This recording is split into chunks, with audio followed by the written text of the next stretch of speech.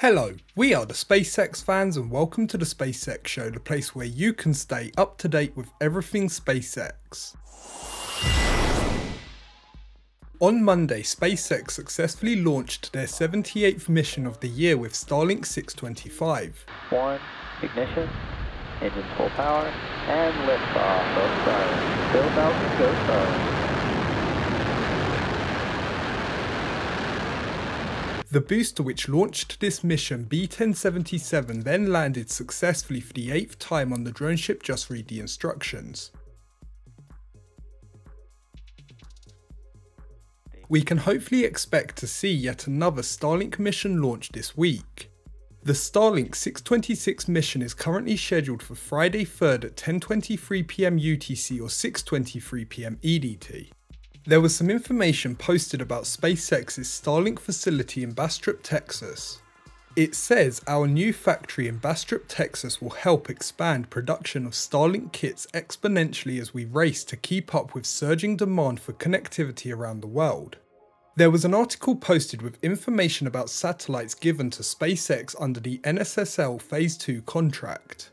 It says the Space Systems Command on October 31st announced 21 launch missions have been assigned to United Launch Alliance and SpaceX as part of the National Security Space Launch Phase 2 contract the companies won in 2020. Heading to Boca Chica, here's a look at the Star Factory expansion. Eric Berger posted information and a picture with information from the FAA on Starship.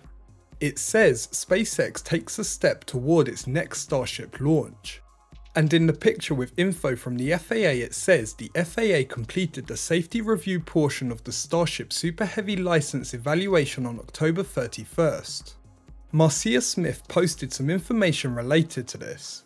She said, I asked just to be sure if the only outstanding item is the US FWS review and FAA replied SpaceX has completed all corrective actions as required by the mishap investigation report. The environmental review is the last major element of the license evaluation process. Ship 25 was seen once again destacked from Booster 9 and for hopefully the final time.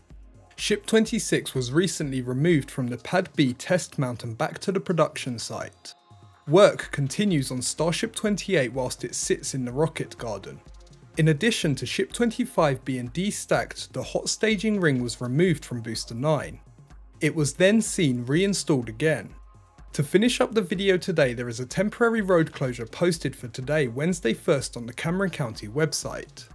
As always I have to say thanks to both Jack Beyer and Sean Doherty for being out there filming the Starbase content.